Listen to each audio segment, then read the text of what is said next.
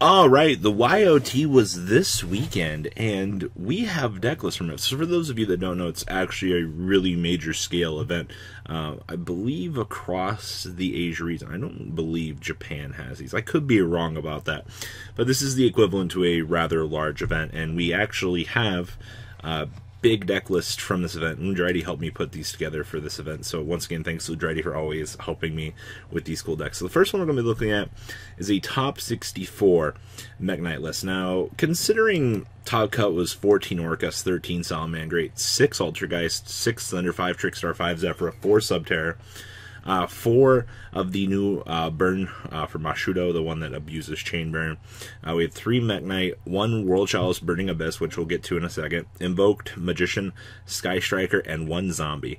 Um, so interesting to see that Sky Striker won the event, by the way, which is that one, the only one Sky Striker player in the room won. That's hilarious to me. So, this is a little bit of love for our friends in the Mekk-Knight department who actually need all of the love they can get. So we have two copies of Ash Blossom, two copies of DD Crow, and one Effect Veiler. We have triple copies of a Fantastical Dragon Phantazmay. We have two copies of the Turtle, triple copies of Maxi. We have triple copies of Mekk-Knight Blue Sky, one copy of Indigo Eclipse, and triple of the Purple Nightfall, along with one Red Moon, one copy of the Yellow Star, and Triple Phantom Sky Blaster with the one copy of Avram. I'm actually check this out.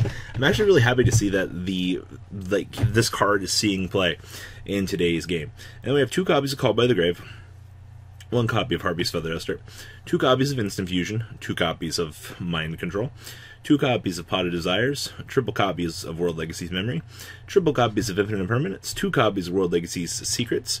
Down here in the extra deck, we have one Security Dragon, one Purple or uh, Spectrum Supreme, two copies of the Morningstar, one copy of the Crusadia Astram, so it's two monsters of special summon from the extra deck. If this card was link summoned, your opponent cannot target it with card effects. Also, your opponent cannot target other monsters, other for a deck, yeah. Once for your damage calculation, this card battles a special summon monster quick effect. You have this card gain attack equal to the attack of the opponent's monster it is battling during damage calculation only. And if this link summon card you control sent to the graveyard by your opponent's card, you shuffle one card on the field into the deck. Uh, I actually, this is probably one of the best link monsters in the game, and I'm actually looking forward to seeing when the TCG gets this. Uh, we have one copy of Link about two Spideys, one copy of Phoenix, one copy of Needle Fiber, one Borrelsword, one Borreload, one copy of the Blackluster Soldier, the Chaos Warrior. Actually, it, it's it's interesting to see that this card sees play, but I understand it's actually pretty good. Uh, we have one copy of Thousand Eyes Restrict, one Sea Monster Theseus. Side deck, we have two copies of Lancea, two copies of Brancatops, two copies of Effect Veiler, two copies of Forbidden Chalice, triple Twin Twister, triple Different Dimension Ground, and one copy of Heavy Storm Duster, wrapping up this bad boy. But I will say, you know, it is really cool to see that Mekk-Knights actually got the chance to do something.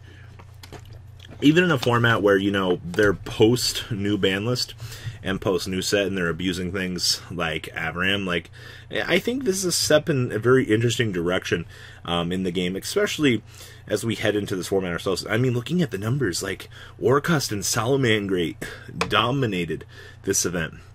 And it definitely proved uh, that one Sky Strikers aren't meant to be counted out. Uh, Mashudo Burn is also very interesting. We already know how the TCG is going to abuse that. Like, that's just horrible mistake for printing that card. But you know, that's that's topic for another day. Now, oh, this is the World Chalice Burning Abyss Rongo deck that made top cut and you're probably looking at this and going, what the fuck? I absolutely agree with you. So this is a deck that, of course, the OCG still has Rongo Remedian. It's actually interesting as this hasn't been that much of a problem over there. Uh, the TCG has definitely gone down a path of exploiting more broken cards than the OCG has, and I, it definitely goes to show. And of course, they do have Maiko, which, I mean, let's be honest here, Maiko is incredibly broken as she is. So, extra or deck time. So we have two copies of Ash Blossom, one copy of Calcab, one copy of Carbon Nenon. So this card battles Fire Monster, uh, will gain a thousand attack only. Uh, you banish this card from graveyard, so summon from your deck one level seven or lower Dragon type normal monster. Hmm, hmm. I uh, I like this. Two copies of Reclusia for linking and taking care of problem cards. Uh, we play the triple copies of Draconet because one card normal summons that start our deck are beautiful. I don't. Why does this exist? Literally normal summon Draconet, bring out, you know, whatever you need. This guy, go into Maiko, Maiko, get to add a World Legacy card. Like, what, what incarnation are we thinking here? We have one copy of Farfa, two copies of Gilasaurus, one copy of Graph, two copies of Junk Forward, one copy of Lee, one copy of Mathman, two copies of Psychic Tracker, triple cop or two copies of Wielder, one copy of Recover, one copy of Rubik, one copy of Overraptor, one Takum Tumborg, one Terratop. Man, the innovation here is crazy. We have one Ancient Cloak, one Silent Boots, one Tour Guide, one Guard Dragon, triple copies of World Chalice, of course, two copies of Beckoned by the World Chalice, one copy of Chosen by the World Chalice, one Flamvell Guard, one Justia. We have triple copies Called by the Grave, two E-Telly, one Foolish Burial, two Fossil Dig, triple copies of Magical Midfield Breaker. Yeah, see, look at this. At one. So sad. We have one Monster Reborn, one Soul Charge, triple copies of Unexpected Guy, uh, one Guard Dragon, one Succession. We have triple copies of Red Reboot, and one copy of Shade Brigandine. Now, the extra deck down here, we have one Rusty Tin Can, one Owl Mirage, one copy of Enema, one Imduk, one copy of Needle Fiber, one Shirabini, one Borrelsword, one Just Beat It, one copy of Aram, one copy of Brick Sword, of course, your win condition, and win condition helper. We have one copy of uh, Martial Metal Marcher, one copy of the Maiko, and one Boral Savage Dragon. Side deck, we have one Barbar, two Ghost Belle, triple Maxi, triple Gamma, one Driver, one copy of Ningirsu, triple Anti Magic Arrows, and one Harpy's Feather Duster. Wrapping us up. Actually, pretty cool to see that uh, this is back in seeing play. But man, oh man, this is a clusterfuck if I've ever seen it. I actually think it's really cool that the OCG's innovated something on this level because uh, it definitely goes to show that there are cool deck ideas still out there. So yeah, I will give it up. OCG definitely intriguing my interest. All right, now we have the winning Sky Striker list. Ah man, poor Sky Striker in the OCG. You guys have to go through so much over there.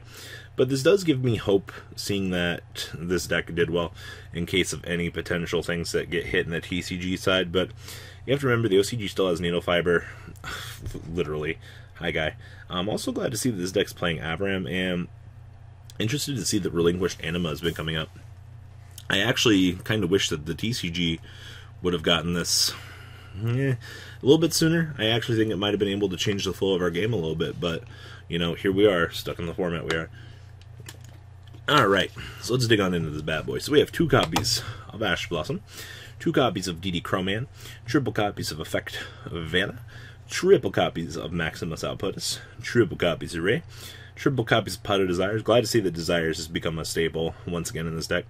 We have one copy of Rhoda, two copies of Area Zero, one copy of Afterburners, one Jamming Whips, one Hornet Drones, two Shark Cannon, two Widow Anchor, triple multirole, two Engage, one Terraforming, triple Upstart Goblin. Traps, we have triple Imperm, and triple, there can only be one. It's almost like this deck had to evolve and become a stun deck. Shocker. Extra deck, we have triple Shizuku, two copies of Kaina, only one Kagari. Uh, we have triple copies of Hayate, one copy of Relinquished Anima, one copy of Ningirsu, one copy of Astram, one Unicorn, one Phoenix, and one Needle Fiber. Side deck here we have triple Lancea, one DD Crow, triple Prankatops, two Ghost Belle, two Cosmic Cyclone, one Feather Duster, and triple Different Dimension Ground, wrapping up this list. So, like I said, in a format where Orcust and Salamangreat are just such dominant forces, and this deck has been literally rammed into the ground on Forbidden and Limited list. It doesn't shock me to see that this deck is still doing relatively decent in today's metagame. Um, it just shows that this card might be the appropriate hit. Um, it's also good to see that we've also come away from abusing Pot of Avarice in this deck. Um, I know a lot of the earlier iterations were playing it. I just kind of think it's too slow. Just, you know, manage your resources, you know, don't get caught with your pants down. And you're not going to have that bad of a time as long as you control yourselves. Guys, please leave a comment down below to what you guys think. Every Thursday we do OCG Thursday, and of course, Fridays and Tuesdays are the thing that we all love most on this channel, Cold Market Watch. All right, guys, catch you on the flip side. Peace. The ride never, well, truly ends. Thank you, patrons. Without you guys, I don't know what I'd be wearing in these videos. I might be a truffle shuffle incident all over again. Guys, please also check out VanCole40 for some awesome Vanguard content. Some other interesting stuff you might find up here on the left or in the description as well. Thanks for watching.